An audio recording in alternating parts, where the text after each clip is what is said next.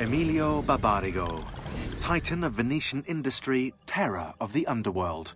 Aided by his powerful family, he cornered the market through smart business practices such as edging out the competition and lobbying the government. He funded the Venetian police force almost single-handedly, keeping the streets safe from crime and his finances tax-free. Emilio claims to be a supporter of the Republic. The problem is, once you own the police force, voting becomes, well, inefficient. As does, you know, opposition.